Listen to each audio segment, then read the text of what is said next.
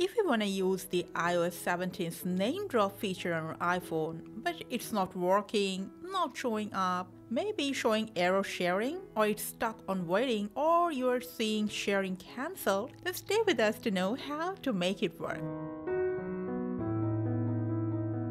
We're using iPhone 15 Pro Max for this video, but it'll work on any iOS 17 compatible device. Okay, first things first, make sure both Bluetooth and AirDrop is on on your device. Go to AirDrop settings and set it to everyone for 10 minutes.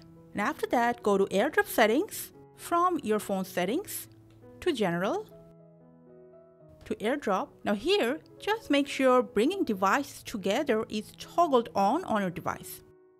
Now also make sure both of the devices they're trying to share name drop is iOS 17 compatible. You can check it from straight from your settings to general to software update. If an update is available, just go ahead, install the software update.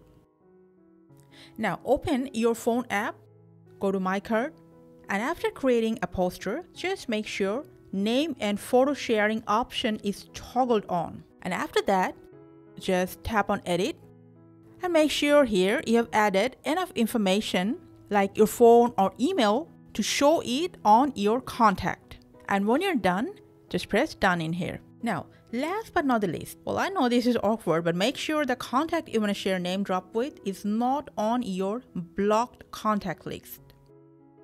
And after that, just go ahead, give both the phones a force restart and hopefully now both of you can share name drop without any problem. Well, did it work? Let us know in the comment section how that went. Thank you for watching.